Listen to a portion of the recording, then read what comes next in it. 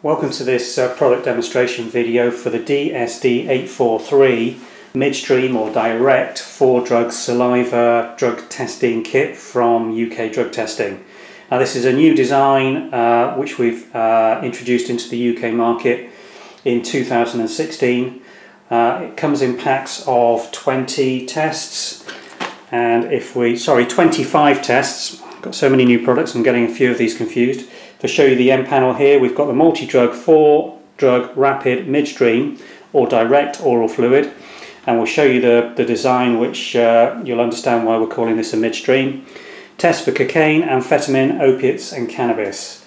So uh, it's a good four panel baseline screen. The catalogue code for this is DSD843 and if we just pop one of these and show you the contents What you get is a full all test data sheet giving the procedure and uh, reactive and non-reactive substances and 25 of these individual foils. And if we open up one of these foils just to demonstrate the design for you, what you get in each pouch is a little bag of desiccant that just keeps the cassette in peak condition and dry until it gets to you. And here you have the actual design and you'll see why that is referred to as a midstream or direct saliva. This tongue goes directly into the candidate's mouth. Uh, they can hold it by um, either the handle end or putting the teeth over there while they saturate it in saliva.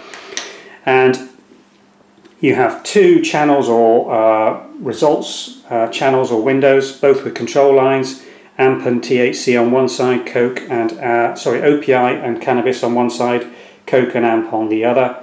So the procedure for running this test is simplicity itself. Uh, test cassette is opened, the sheath or cover is taken off the prong and it's handed to the candidate who saturates the uh, tongue in saliva and the test automatically runs there. There is no additional procedures to be done, no saliva transfer or collection. Uh, it can be left in the candidate's mouth while it's running, so you start your timer in terms of your results indication uh, when this is put in the mouth.